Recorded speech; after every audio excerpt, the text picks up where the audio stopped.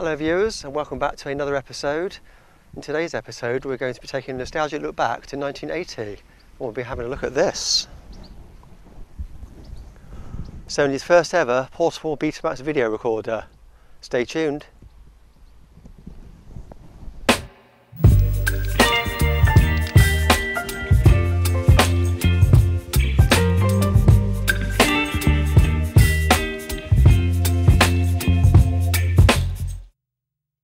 So the year is 1980, and what a year it was for inventions and movies. The long awaited sequel to Star Wars is finally out at the cinemas, The Empire Strikes Back. Along with an impressive new toy line from Kenner, the first affordable home computer is finally available priced at just £79.95 on built, $99.95 built, from a British company called Science of Cambridge Limited, model number Sinclair ZX80 with 1K of RAM. A computer in your pocket is introduced by Sharp of Japan, the PC1211, and it's the dawn of the consumer portable video era. If you wanted to record a special event such as a birthday party or a wedding back in the day, before video, you would use something called a cine camera. A cine camera would take a reel of unexposed film, much like a 35mm film camera. And of course the early cine cameras were picture only, there was no sound. It's hard to imagine that today, isn't it? Just imagine trying to record a video today on your smartphone without any sound. But as the years went by, cine cameras came along with sound, so you were able to record sound and a picture. But as some of us will remember, sending off the 35mm films for development and waiting in anticipation for them to return, often you would find pictures would be blurry or even under or overexposed. And then, of course, you needed a projector and a screen to project onto to view back your precious memories. These days, we have video cameras that not only have built in screens to instantly replay your recordings, but some models even have a built in video projector, like this model here, and this is already 5 years old. Amazing. But now it's 1980, we finally have a consumer portable video recorder and camera from none other than Sony. Now Sony had been making portable video equipment already, but this was for the professional market, for television program makers, and also for scientific and hospital use. The format used for that gear was called U-matic. There were two size tapes, a larger tape for the full size machines, and a smaller tape for the portable gear, but Sony decided to use a different format altogether for the domestic market, Betamax, Betamax was very similar to U-matic, but the tapes were smaller again. Priced at around £625 in 1980 for the VCR alone, it certainly wasn't very affordable. In today's money that equates to around £2,500 in 2023. Only the very wealthy could afford one. Here in England, you could rent such equipment daily through companies such as Radio Rentals Granada and in fact, this was my first experience with this very camera. I remember coming back from school one day and my parents saying, You can see yourself on TV now. Something you take for granted now, but back then it was absolutely amazing. This is a commercial urging you not to buy something. Strange. The very latest TVs have FST, but don't buy one. FST doesn't mean fairly smart teak. it means flatter, squarer tube, which means a brighter, clearer picture. But don't buy one. Rent. Rent from Radio Rentals and you can chop and change to keep up with ideas like FST. That's why Radio Rentals say you'll be glued to our sets, not stuck, stuck, stuck, stuck, stuck. Weighing in at just under 10 kilos for the VCR alone, it wasn't very light compared to today's standards. Combining the latest technology in electronics and mechanical engineering it was an absolute marvel for the time. And with this model, you can actually play back your recorded footage instantly through the camera's built-in black and white electronic CRT viewfinder and listen to the sound with an earpiece. This is something you could not do with cinefilms, as you had to send it off to be processed and pray your footage was not overexposed or blurry. So you can imagine the cine camera offerings soon started to dwindle with the advent of the portable video home system, especially with the expense of developing the film. The camera I'm using here is actually the HVC 3000P, the one that was launched with the SL3000 was the HVC 2000p. The 3000p was slightly better, in that it worked much better in lower light conditions, indoors for example. And the price of this camera was £649, bringing the combined total to about £1300 back then. So in today's money you're looking around about 5 grand. And of course you still had to buy your own tapes, and they weren't cheap either. You were looking around about £30 for half an hour footage. Also available to go alongside this machine was a matching tuner timer unit. This will allow you to record terrestrial television programs. Let's take a look at the features and benefits of these machines. I actually find this tuner time unit quite aesthetically pleasing to look at. Certainly very reminiscent of the 1970s. Lifting up the top panel reveals the thumb wheel tuning mechanism for the analog tuner. The front of the unit is quite sparse for connections. There's a remote control input along with a camera port. On standby and timer switch. Input select switch for tuner or line input. Charging lamp indicator. And a fluorescent tube clock. Concealed behind the flap you have a dimmer switch for the display itself along with the time shift settings and clock adjustment. And here's the VCR out of its leatherette jacket sat on top. The controls for this machine on the front are all mechanical. This predates the days of logic control, which came just a couple of years later. Belt driven mechanical tape counter. This machine also boasts an audio dub feature, standby and pause lamps, battery indicator, another camera input, along with a mic and headphone socket.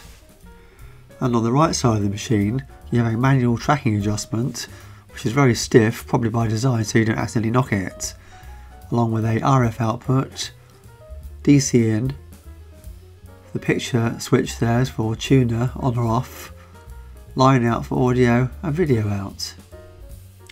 And on the right side of the tuner, a DC port for charging the battery. Around the back of the machine we have RF in and out, a small plastic adjustment screwdriver to adjust your RF channel, although this may vary in other countries, test signal on and off, and then you have composite video in and out, and audio in and out, just mono or sound, no stereo then. And there's your fuse holder and voltage adjustment switch, and then the power on off. This cable here is quite a strange affair, it's exactly the same as the camera plug itself but this actually plugs into the VCR itself so that will get the video signal in and out uh, back to the tuner so we can output it to a television set. Looking at the serial number, it looks like this was model number 2001 in the production run for the tuner itself. And here we have the optional AC adapter and battery charger. You would only need to buy this if you haven't bought the tuner itself because the tuner will do both these things. Not everybody wanted to have a tuner the battery type for this machine was lead acid and weighed 1.2 kilos. And here we have the Sony HVC 3000p camera. It comes in a very nice hard case. This is a tube-based camera, so it predates the CCD era. The Trinicon range of cameras are actually my personal favourite of cameras from this time period. One of the main reasons for that is the superior picture quality to their rivals at the time, and the fact that uh, every single one I've bought so far still works. However, you can get something called IR filter rot, and there's an infrared filter in between the tube and the lens itself, which blocks out the infrared rays, and this can cloud over. Even some of the early Sony broadcast models can suffer the same plague. Around the back of the camera you've got some uh, function switches there along with an earphone socket. Top switch is for fader on or off. Then you've got a sharpness minus or plus button and the earpiece selector. You can either monitor the internal microphone or the VTR playback. And on the left side of the camera you have your adjustments for white balance, iris and the colour. The thing with tube-based cameras is sometimes you need to adjust the hues to get the uh, colour just right. You also have a white lens cap so you can adjust the white balance. Also is a selector switch there for different types of light. You can adjust the iris manually or leave on automatic. And you can also adjust the sensitivity of the pickup tube depending on your lighting conditions. In the 1 inch black and white viewfinder, you have a scope indicator. You can select between white balance, waveform, or iris, along with a peaking switch and a brightness adjuster for the viewfinder itself. And on the right side of the camera, you have a remote control socket for the optional HVR 4000 wired remote. With this, you can control the zoom, fader, and start stop function. Record start stop button and lock, and also an optional mic input. The viewfinder cable can be unplugged, so you can add in an optional extra extension cable, so you can have the viewfinder right near you if the camera is further away. This model has a Synoptor lens with macro feature, manual zoom, electronic zoom, and manual focus. And here is the complete setup in its entirety. An awful lot of gear here when you think about the mobile phones that we carry around in our pockets that could do all this and so much more.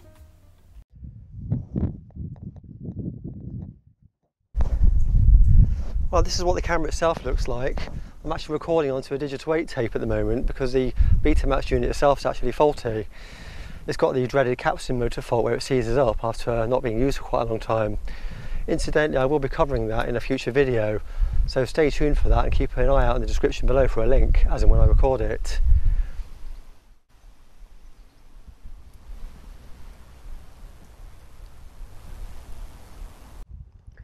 Back in the day, video cameras like this would have been used to record sporting events such as kids' sports days and birthday parties and other special occasions. And I often wonder what happened to all those tapes. Did they get transferred in time to more modern media so they can still be viewed back? These days we have the luxury of the cloud where we can just take a video recording or picture, upload it to the cloud and view it anywhere, anytime or any place in the world.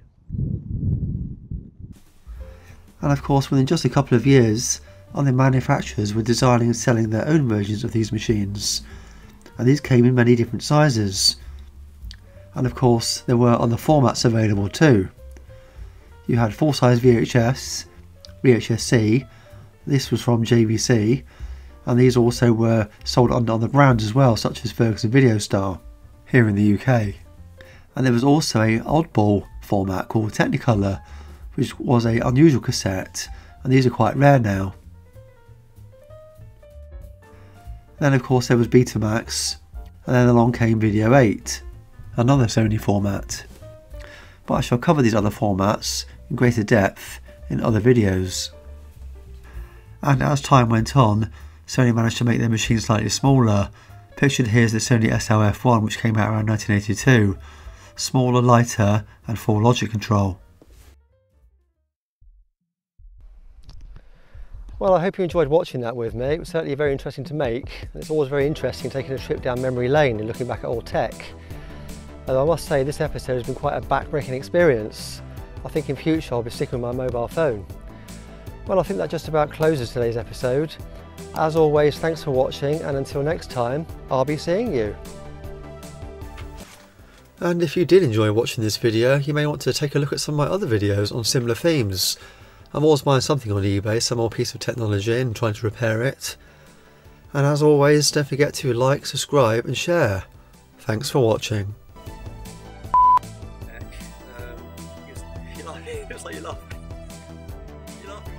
No, I am now though.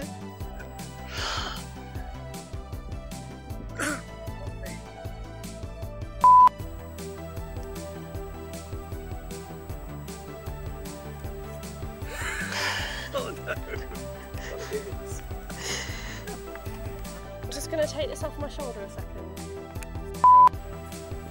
Well, this is what you and me, you got this grimace. Stop smiling. I'm not.